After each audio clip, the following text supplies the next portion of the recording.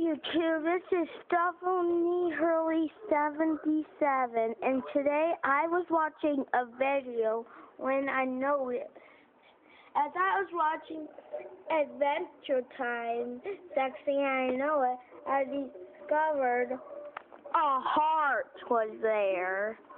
A heart plopped right out of this soda basket. Here, I'll show you some proof. Watch. There goes. Now, there's some proof that there was just a heart falling out of a basket on Adventure Time. Later, YouTube.